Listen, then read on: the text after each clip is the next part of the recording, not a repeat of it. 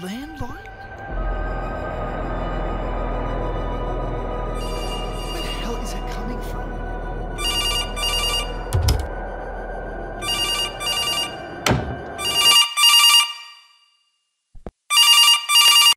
Hello?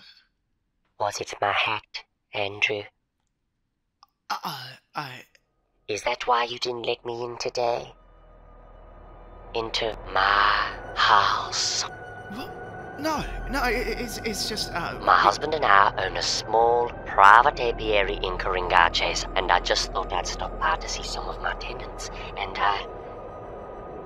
I shouldn't have worn the hat. No, no, no, no, no, it's, it- it's, it's okay. I just, I just wanted everything to be perfect for the inspection and. So you let me in next time? Uh, I mean, we have You to. let me in.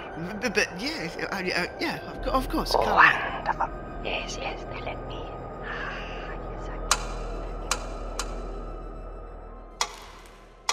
Hello, Andrew. Hello.